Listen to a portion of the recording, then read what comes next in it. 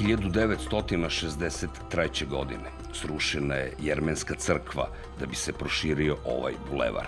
Posle 1945. godine nova vlast Jugoslavije želela je da ostavi svoj pečat i kroz prostorno uređenje gradova.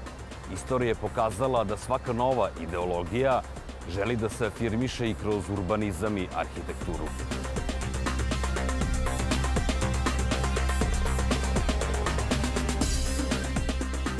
Novi Sad, odnosno Petrovaradinski šanac, kako se tada zvao, 1739. došli su Jermeni pod zaštitom Vatikana i jermenskog monaškog reda Mehitarista.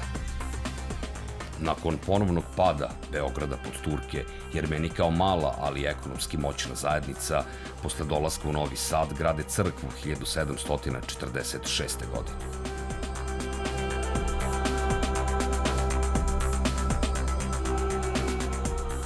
Razliku od svojih pravoslavnih sunarodnika, naši nekadašnji sugrađani bili su katoličke veroispovesti.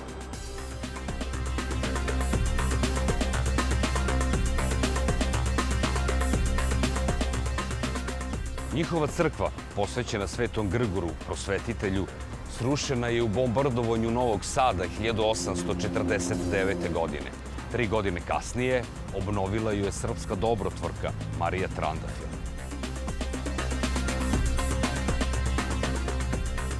Spomenik je podigla država Jermenija u znak zahvalnosti našim poginulim pilotima prilikom transporta humanitarne pomoći kada je Jermeniju zahvatio zemljotres 1988. godine.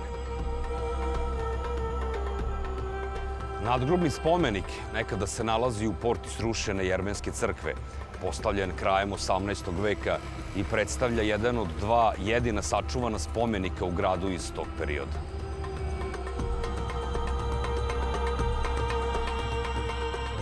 Blizini nadgrobnog spomenika porodice Čenazi, čiji je član Jovan bio dobrotvor crkve, nalazi se još jedan važan spomenik.